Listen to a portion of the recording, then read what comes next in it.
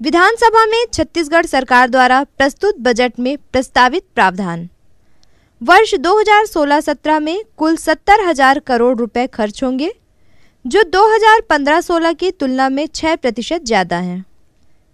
वर्ष 2016-17 में कुल राजस्व बासठ हज़ार करोड़ रुपए संग्रहित होगा, जो 2015-16 की तुलना में 5 प्रतिशत ज़्यादा है।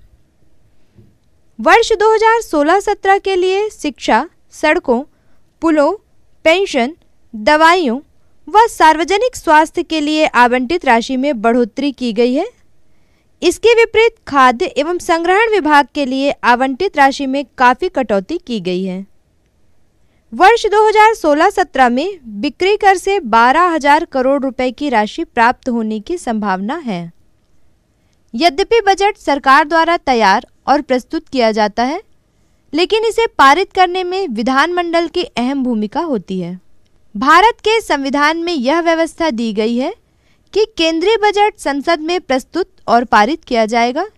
राज्यों का बजट संबंधित राज्य की विधानसभा में प्रस्तुत और पारित किया जाएगा। साथ ही सभी करों और व्यय की जाने वाली राशि के लिए सरकार को संसद या विधानसभा से स्वीकृति लेनी होगी।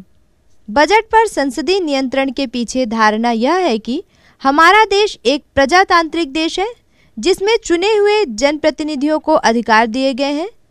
वे चाहते हैं कि सरकारी राजस्व का सही उपयोग हो तथा कर संग्रहण करने की प्रणाली उचित और पारदर्शी हो।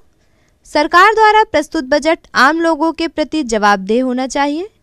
इसके साथ ही लोक कल्याणकारी तथा देश की जनता की अपेक्षाओं के अनुरूप हो।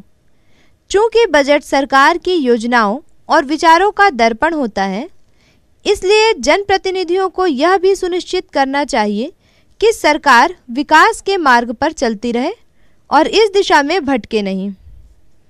संसद का बजट सत्र लोकतांत्रिक प्रक्रिया का एक महत्वपूर्ण हिस्सा होता है। बजट पारित करने से पहले उस पर कई दिनों तक लंबी चर्चा की जाती है। विपक्ष सरकार के बजट पर बहस, आलोचना और रचनात्मक सुझाव देकर अहम भूमिका निभा सकती है। सरकार की जवाबदेही को लेकर आम लोगों की ओर से भी सीधा दबाव पड़ता है। जनता की भागीदारी और बजट। बजट सरकार के कार्यक्रमों और नीतियों को अमल में लाने का एक माध्यम होता है। पर्याप्त बजटीय प्रावधान और पैसे का समुचित प्रबंधन नहीं होने पर सरकार की योजनाएँ और कार्यक्रम केवल वादे बनकर रह जाते हैं।